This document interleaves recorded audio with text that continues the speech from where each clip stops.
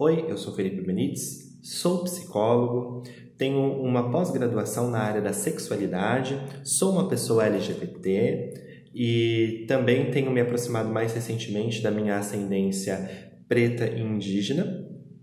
É, aqui na região, né, eu moro na cidade de Taubaté e contribuo também aqui na cidade de Taubaté, né, para a subsede do Vale do Paraíba e Litoral Norte, né, do CRP São Paulo é, no núcleo de diversidade sexual e diversidade de gênero.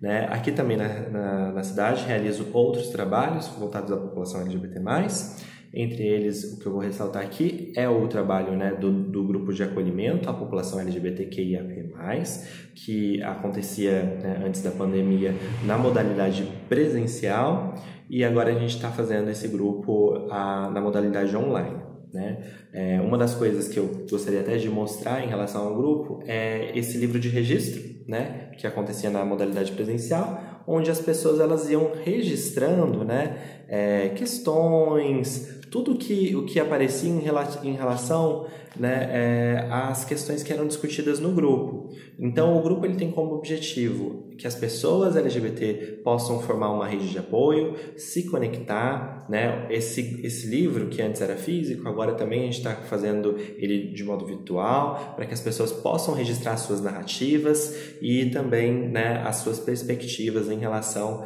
a esses encontros que a gente realiza. Né? E que Nesse sentido, eles vão é, criando, as pessoas né, que participam vão criando é, vínculos, vão criando formas de resistência, vão criando autocuidado e formas de enfrentamento né, das questões de LGBTfobia que acontecem aqui na região também.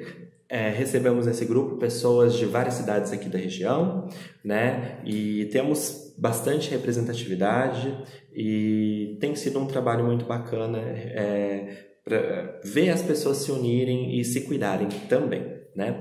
Fora esse trabalho que, que realizo aqui, né, em espaço próprio, nesse lugar aqui que eu tô, eu também participo de um coletivo, né, LGBT aqui da região, que é o coletivo EBI. Esse coletivo a gente tem focado bastante a nossa energia na luta né, em defesa dos direitos da população LGBT, de forma geral, mas também especificamente a população trans, pois não, não temos aqui um, um ambulatório trans na região.